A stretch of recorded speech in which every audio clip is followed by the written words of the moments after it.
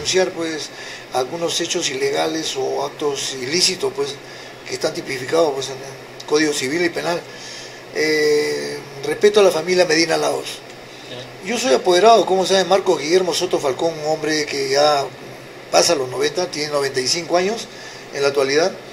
Y esto se inicia pues como se llama por un terreno que él pues a su señor padre de esta familia, por medio de un documento de arras y partes, hizo la compra él mismo. Esto está ubicado en la Flor de la Boquilla, 167.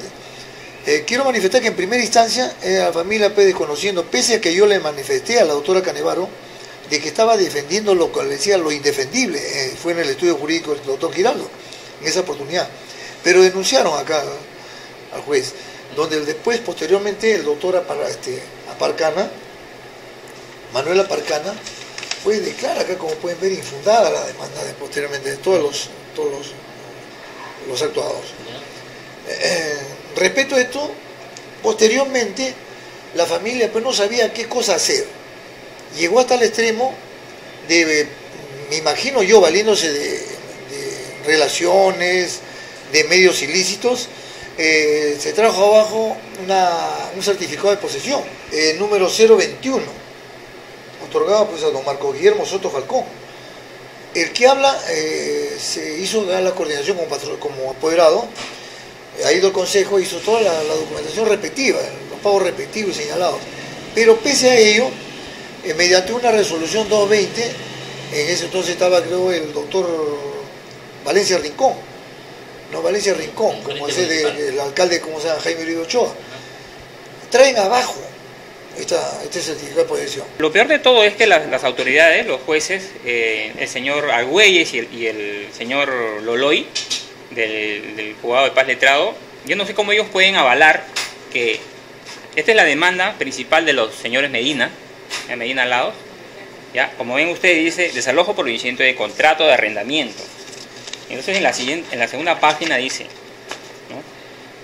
eh, que mi padre realizó un contrato de arrendamiento en el año 1926, ¿ya? Y bueno, yo no sé cómo, cómo los señores jueces pueden avalar.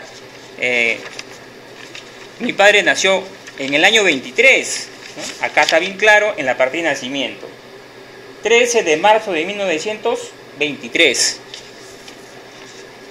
Ellos dicen que mi padre hizo un contrato de arrendamiento con su padre ellos en el año 26. Entonces mi papá tenía 3 años de edad, recién estaba aprendiendo a caminar. ¿no?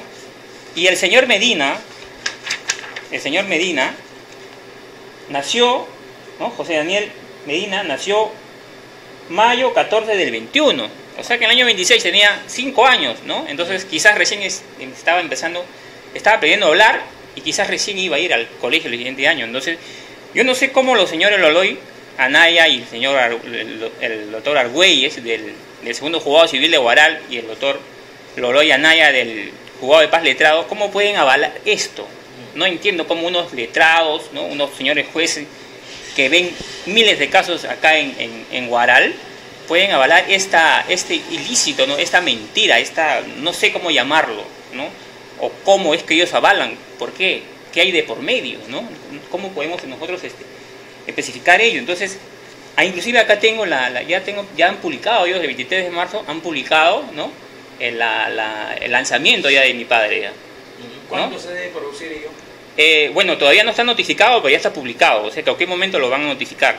Lo peor de todo. que lo van a desocupar prácticamente. Lo van a desocupar. Lo peor de todo, señores, que mi, vivía tu papá? Mi, papá? mi padre vive, lo compró en el año 66 y vive hasta la fecha, hasta ahora vivimos ahí.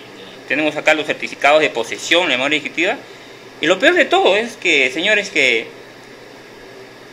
Miren lo que dice acá al final, ¿no? Dice... Eh, desocuparlo de calle Flor de la Boquilla número 163, 169. Cuando la, la, dirección real de mi padre, ya es, ¿no? Está el nombre, Marcos número 167. ¿Ya? Entonces, claro, eso, eso, esto, señores, esto es un imposible jurídico. Esto no eh, si el doctor Lolo Anaya ejecuta este desalojo, este lanzamiento, se va a meter en un grave problema porque esto es abuso de autoridad